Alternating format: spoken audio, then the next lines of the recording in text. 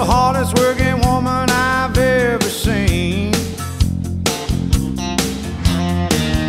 If we weren't sinking in a river of debt, I'd say quit that job and let them do it themselves. I know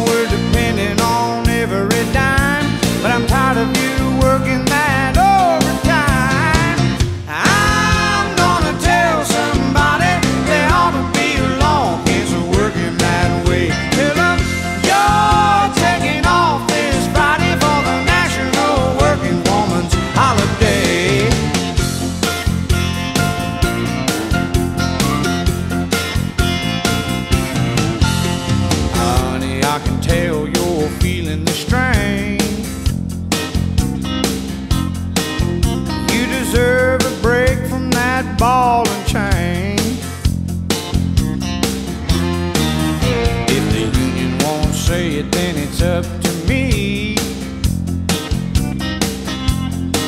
They're just taking advantage of your loyalty.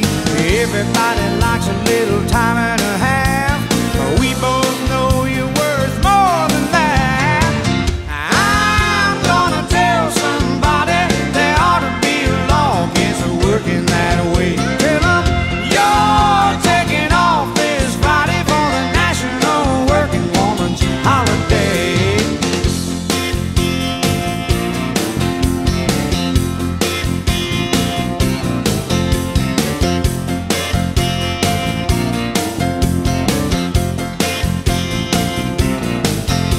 I'll call in sick and I'll be telling the truth.